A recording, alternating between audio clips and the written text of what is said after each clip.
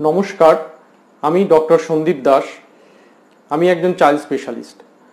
আজ আমরা নবজাতক শিশুকে বুকের দুধ খাওয়ানোর সঠিক পদ্ধতি নিয়ে আলোচনা করব। অনেকেই শিশুকে দুধ খাওয়ানো নিয়ে নানা সমস্যার মুখোমুখি হন। এজন্য ডাক্তারবাবু বা স্বাস্থ্যকর্মীদের পরামর্শ নিতে হয়। কিছু নিয়ম মেনে চললে আপনার শিশু ভালোভাবে দুধ পাবে এবং সুস্থ থাকবে। প্রত্যেক মায়ের দুধ তার শিশুর প্রয়োজনের জন্য নির্দিষ্ট কাস্টম মেড মায়ের দুধে বিশেষ পুষ্টিদ্রব্য আছে, যা শিশুর সার্বিক বৃদ্ধি বিশেষ করে মস্তিষ্কের বৃদ্ধি নিশ্চিত করে। শিশুকে স্তন্যপান করানো প্রসব পরবর্তী জটিলতা থেকে মায়ের শরীরকে পুনরুদ্ধার করতে সাহায্য করে। বুকের দুধ খাওয়ালে মায়ের আত্মবিশ্বাস বাড়ে, শিশুর সাথে মায়ের আত্মিক বন্ধন দৃঢ় হয়। জন্মের পর যত তাড়াতাড়ি সম্ভব, আইডিয়ালি এক ঘণ্টার মধ্যে শিশুকে স্তন্যপান শুরু করানো উচিত। প্রথম ছয় মাস পর্যন্ত শিশুকে শুধু বুকের দুধ দিন। ছয় মাস পরে আস্তে আস্তে সেমি সলিড খাবার দিতে পারবেন। পাশাপাশি অন্তত দুই বছর বয়স পর্যন্ত বুকের দুধ দিন। প্রসবের ঠিক পরপরই মায়ের স্তনবৃন্ত থেকে ঈষৎ হলদেটে ঘন দুধ মিশ্রিত হয়। এই দুধকে বলা হয় কোলোস্ট্রাম বা শাল দুধ। পুষ্টিবিজ্ঞানীরা একে বলেন তরল সোনা। কোলোস্ট্রামে রোগ প্রতিরোধকারী বিভিন্ন উপাদান থাকে, যা শিশুকে দিলে তার জীবনভর সুরক্ষা প্রায় সুনিশ্চিত। এটিকে আপনি বলতে পারেন শিশুর প্রথম টিকাকরণ। প্রসবের পর মাত্র দুই থেকে তিন দিন এই দুধ নিঃসৃত হয়।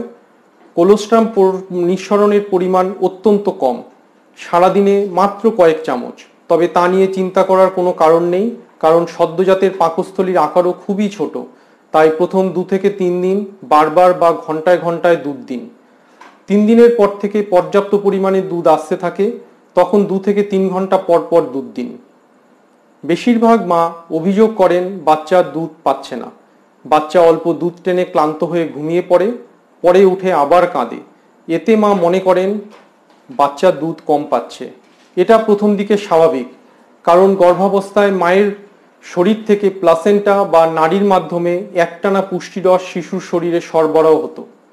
জন্মের পর একবারে বেশ খানিকটা খাবার খেয়ে স্টোর করে রাখার ব্যাপারটা রপ্ত হতে শিশুর কিছুদিন সময় লাগে। কীভাবে বুঝবেন বাচ্চা পর্যাপ্ত দুধ পাচ্ছে কিনা? আপনি কিছু লক্ষণ লক্ষ্য করতে পারেন। যেমন, আপনার নবজাতক প্রতিদিন অন্তত ছবার প্রস্রাব করছে কিনা। আপনার স্তন দুধ খাওয়ানোর আগে ভর্তি এবং দুধ খাওয়ানোর পরে খালি মনে হয় কিনা। আপনার শিশুর প্রতি সপ্তাহে স্থিতিশীলভাবে ওজন বাড়ছে কিনা। সঠিক নিয়মে দুধ খাওয়ালে বাচ্চা ঠিকভাবে দুধ পাবে। এবার আমি দুধ খাওয়ানোর সঠিক পজিশন এবং ল্যাচন বা অ্যাটাচমেন্ট নিয়ে আলোচনা করব। সঠিক পজিশনের জন্য প্রথমে মাকে রিল্যাক্সড হয়ে বিছানায় বা চেয়ারে বসতে হবে। পর্যাপ্ত বালিশের সাহায্য নিন। শিশুর পুরো শরীরকে সাপোর্ট দিন। শিশুর পুরো শরীর মায়ের গায়ের সাথে লাগিয়ে নিন। বাচ্চার ঘাড় মায়ের কনুয়ের উপর রাখুন। শিশুর বাকি শরীরের সাপোর্ট মায়ের হাতের ওপর থাকবে। বাচ্চার মাথা শরীরের সাথে সোজা থাকবে। শরীর যেন ঝুলে না যায়। শিশু স্তনের দিকে ঘুরে থাকবে। বাচ্চার নাক স্তনবিন্ত বা নিপুল বরাবর থাকবে। সঠিক অ্যাটাচমেন্ট হলো বাচ্চার মুখ ব্রেস্টে লাগানো থাকবে, বাচ্চার মুখ বড় করে খোলা থাকবে, বাচ্চার নিচের ঠোঁট বাইরের দিকে বাঁকানো থাকবে। সঠিক অ্যাটাচমেন্টের জন্য প্রথমে শিশুর ঠোঁট স্তনবৃন্ত বা নিপলে লাগান। সে বড় করে হাঁ করলে নিপুল সহ চারপাশের কালো অংশ যাকে অ্যারিওলা বলা হয়, তার মুখে দিন। বাচ্চা অ্যারিওলা সাক করবে, তবে ঠিকভাবে দুধ পাবে।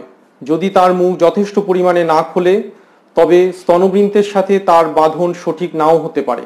যদি শিশু শুধু নিপিল চষে, তবে স্তনবৃন্ত ফেটে যায়, মা এবং মা ব্যথা পাবে। শিশুও কম দুধ পাবে এবং ওজন ঠিকমতো বাড়বে না। খাওয়ানোর সময় শিশুকে একটি স্তন পুরো খালি করতে দিন। প্রথমে একদিকে মিনিট দশেক খাইয়ে, অন্যদিকে মিনিট পাঁচেক খাওয়ান। পরের বারে অন্য স্তন থেকে শুরু করুন। দুই স্তন থেকে অল্প অল্প খাওয়াবেন না। কারণ দুধের প্রথম অংশ, যাকে ফোরমিল বলা হয়, তাতে কার্বোহাইড্রেট এবং জল বেশি থাকে। এতে শিশুর তৃষ্ণা নিবারণ হয়। পরের অংশ, যাকে হাইনমিল বলা হয়, তাতে প্রোটিন ও ফ্যাট বেশি থাকে। দুই দিক থেকে অল্প অল্প করে দুধ খেলে প্রতিবারই জল আর কার্বোহাইড্রেট পাবে। বাচ্চার ইউরিনের সাথে জল বের হয়ে যাবে। শুধু কার্বোহাইড্রেট বেশি খেলে ফেনা ফেনা বা সবুজ পায়খানা হতে থাকবে এবং বাচ্চার ওজন ঠিক মতো বাড়বে না। শিশুও বারে বারে ক্ষুধার্ত হবে। একটি স্তন ঠিক মতো খেলে হাইনমিল পাবে, এতে ফ্যাট ও প্রোটিন বেশি থাকে, ফলে বাচ্চার পেট ভালো করে ভরবে, কম ক্ষুধার্ত হবে এবং ওজন সঠিকভাবে বৃদ্ধি পাবে। দুধ খাওয়ানোর আগেও পরে মাকে পর্যাপ্ত পরিমাণে জল পান করতে হবে। নিশ্চিত করুন যে আপনি সুষম খাদ্য পর্যাপ্ত পরিমাণে খাচ্ছেন। উপযুক্ত বিশ্রাম ও ভালোভাবে ঘুমাতে ভুলবেন না। বুকের দুধ খেলে কোনো কোনো শিশু দিনে দশ থেকে পনেরো বার অল্প অল্প পায়খানা করতে পারে বা কোনো কোনো শিশু পাঁচ থেকে সাত দিন একবার পায়খানা করতে পারে। দুটোই স্বাভাবিক। এক্ষেত্রে মনে রাখতে হবে যে, ফোরমিল বেশি খেলে বা দুই স্তন থেকে অল্প অল্প খেলে বেশি পায়খানা করতে পারে। সেক্ষেত্রে এক স্তন থেকে বেশিক্ষণ খেতে দিন। দশ থেকে পনেরো বার পায়খানা করলেও অধিকাংশ সময় মলের পরিমাণ সামান্যই হবে। মানে ধরুন এক থেকে হাফ চা চামচ। দুই থেকে তিনবার একটু বেশি পরিমাণে করতে পারে। কয়েকদিন পর পর পায়খানা হলে দেখতে হবে মল যেন খুব শক্ত না হয়। এগুলো পরে নিজে থেকে ঠিক হয়ে যায়। প্রথম কয়েক মাস শিশু বাতাস ও দুধ আলাদা করতে পারে না। তাই দুধ খাওয়ার সময় যথেষ্ট পরিমাণে বায়ু শিশুর পেটে চলে যায়। ফলে বাচ্চার পেট ফুলে যাওয়া, পেট ব্যথা, মোচড় দেওয়া এসব হতে পারে। এজন্য দুধ খাওয়ার পরে বার্পিং করতে হবে। খাওয়ার পর কাঁধে রেখে বা কোলে বসিয়ে পিঠে হালকা করে চাপ চাপড়ান এতে ঢেকুর উঠবে এবং অতিরিক্ত বাতাস বেরিয়ে যাবে। বাচ্চাকে গরুর দুধ দেবেন না। এক বছরের আগে শিশুকে গরুর দুধ দেওয়া উচিত নয়। বুকের দুধ খাওয়ানোর পাশাপাশি বোতলের দুধ দেবেন না। কারণ বোতলের নিপুল থেকে দুধ মুখে চলে আসে, কিন্তু মায়ের নিপুল থেকে দুধ কম আসে এবং নিপুলের চারপাশে অ্যারিওলাতে সাক করতে হয়। এজন্য নিপুল কনফিউশন হয় এবং শিশু বুকের দুধ নাও খেতে পারে। শিশুকে সফলভাবে বুকের দুধ খাওয়াতে হলে মাকে আত্মবিশ্বাসী এবং রিল্যাক্স থাকতে হবে। মা আপসেট থাকলে দুধ নিঃসরণের জন্য প্রয়োজনীয় হরমোন উৎপাদনে বাধা আসবে। সফল ব্রেস্ট ফিডিং শুধু মায়ের দায়িত্ব নয়, পরিবারের সকলকে মাকে সাপোর্ট দিতে হবে। কখনোই মাকে বলা উচিত নয় যে তার যথেষ্ট দুধ হচ্ছে না। এতে মার কনফিডেন্স নষ্ট হয়। মার পুষ্টি ও বিশ্রামের দিকে সকলের নজর দিতে হবে।